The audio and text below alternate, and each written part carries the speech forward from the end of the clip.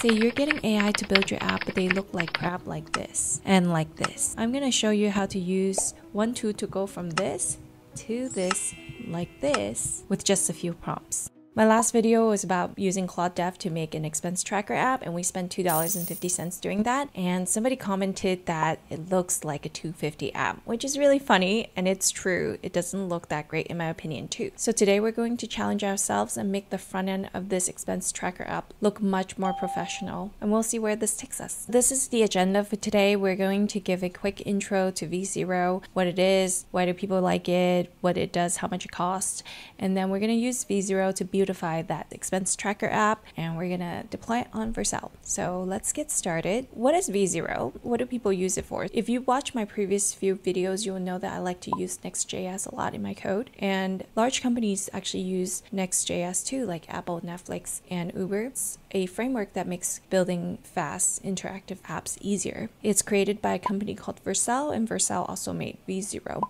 V0 is basically an AI powered UI generator. You can think about it like Claude, where you can type a command and they push out code for you. It will also show a preview of the front end. V0 generates copy and paste friendly React code, so it makes building the front end much easier. V0 is free to use and they have a pretty generous free tier that you can sign up and toy around with. If you want to generate more code, you can subscribe to a paid tier of $20 a month. We're going to get started using V0 to beautify our, our expense tracking app.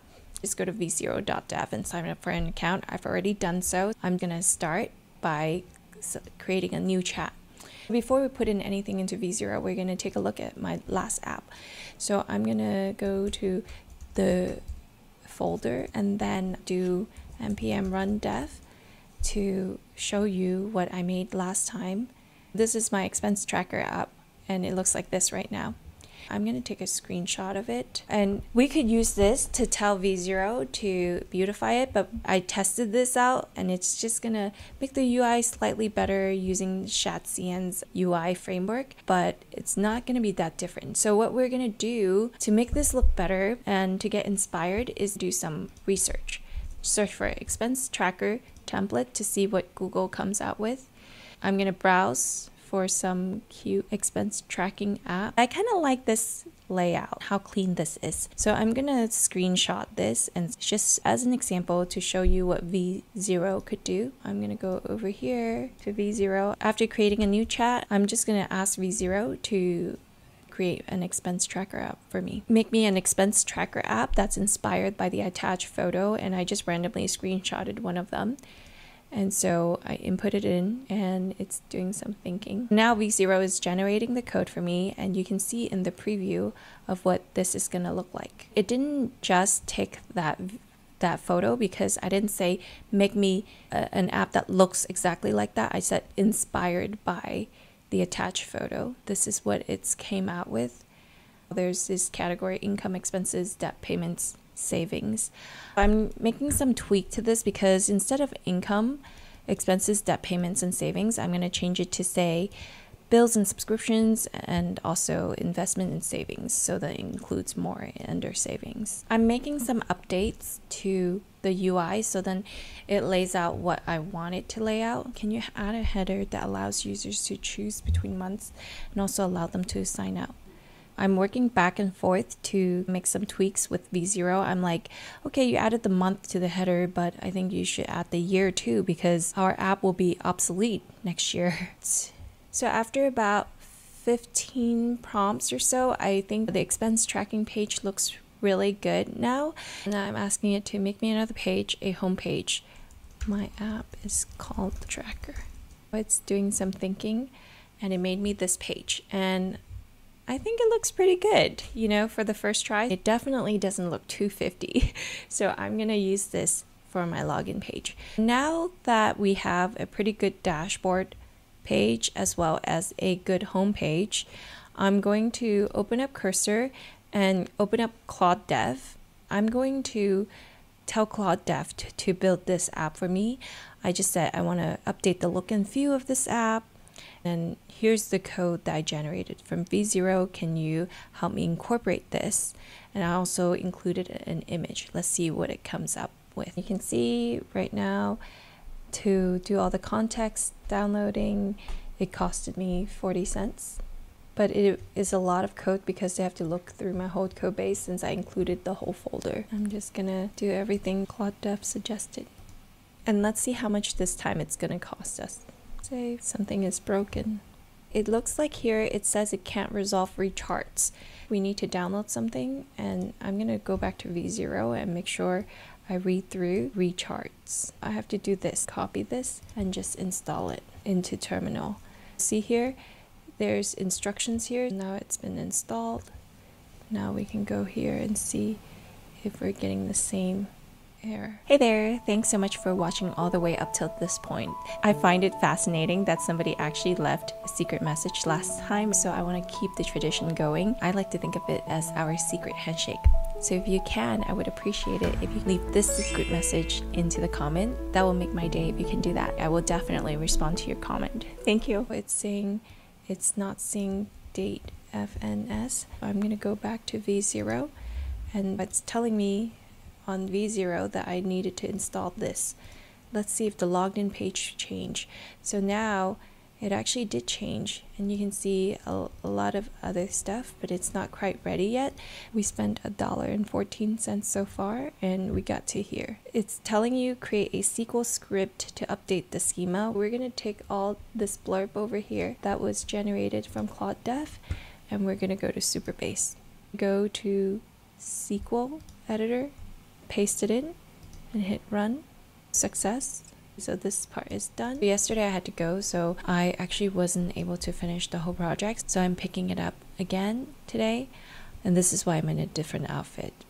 Also, yesterday I actually ended up spending a lot of money on this because I didn't commit my changes. And with one of the queries I ran they messed up my file so I had to restart. And you can see here I spent eight dollars something yesterday because I went back and forth. So it's really important to commit your fixes. With that said, let's go and see what progress I made since yesterday. This is what it looks like right now. I would say it definitely looks way better than before. This could be improved. This should be like next to in the corner or something in, instead of right here. And this date needs to be fixed because it's showing up in a weird way. And when I edit this, it also has a weird calendar. So let's proceed to fixing the calendar right now. Before I, I do anything, I'm going to commit my changes by doing git add and push it out. Over here in the branches, I should have nothing. I can make changes and not have to waste money because I, I, I had to redo the queries if it doesn't look good. Okay, I'm going to tell them to use the date picker in ShadCN and we'll see what it comes up with. I want to show you this issue that I'm running into. So when I try to fix the calendar app, it after the fixes, it like removed a bunch of code and you can see so here the changes. This is what Claude Dev did and which I'm not happy with. What you could do is to discard all changes because it didn't generate what I want. So I'm going to go back again. I'm going to just start a new task I'm going to tell them do not delete any existing function. Put some exclamation marks at the end. Hopefully, it'll get my hint. Let's see whether this works out better this time. It looks like there's an improvement. They didn't delete blocks of code like last time. With your command, it's very important to include do not delete excess code except for this fix. They, they said it's fixed, but I don't think it's fixed. Because I've tried a few times to debug this and it doesn't seem to work, I'm actually going to try using cursor to debug. So open out, open up Command Shift I and here I'm just um, creating a notepad in cursor and I'm typing in some notes about this expense tracker app uh, and then I'm going to go into the composer and adding the files. I'm gonna type in the same questions that I had earlier. Why is the calendar not default to, to collapse mode? And it's supposed to, to fix it. So let's see what it looks like now. The reason why I like doing it in cursor is because sometimes when Claude Dev doesn't work, you can use Cursor Composer to also help you with some fixes. Now it looks better because we fixed this issue we need to commit the changes so I don't have to keep going back and forth. Git add dot fix calendar. Git push. Okay. Now all the changes are committed. Let's move on to the next issue that needs to be worked on or fixed. Because I spent so much in Claude Dev already, I'm using Composer now. In general, I think when you start a project, I feel like maybe Claude Dev was easier to get the project running, but sometimes I do think that maybe you could use Cursor to debug a little bit here and there. It seems like Cursor Composer is great at debugging, and, and if Claude Dev is gonna cost you like $8, $9, you might as well just try using Cursor, right? A couple more UI updates using Cursor. I have finally got it to a place that I'm decently happy with. Currently, this is what my dashboard looks like. You can select and add anything. I think it does look decent. I mean, I can add a lot more features to it, but it's much prettier looking than before. What we're going to do is go work on the homepage. In V0, we have already created a version that we liked. This time, we're going to use Cursor Composer to help us with this instead of using Claude. I'm going to just tell Cursor Composer to help me make this home screen with the code that I pasted. I'm also going to change tell it to not delete any functionalities it looks like we have to import something. This is where I think sometimes Claude Dev shines because I think Claude Dev gives me more instructions. But let's see what Cursor told me. I just need to install the dependencies. Okay, now it looks good. I'm just gonna double check. Now the app is fully functional and I'm sure you can add more, but I just wanted to show a quick way to beautify this using V0. You can set your budget, you can set your income, and you can see how much you have left to spend based on what you already spent. We use Cursor Composer as well as Claude Dev to do this. It's just helpful to have an extra assistant when one doesn't work to try out a different one. The hard part is around deployment and I'm going to deploy this to Vercel and first you have to push to GitHub.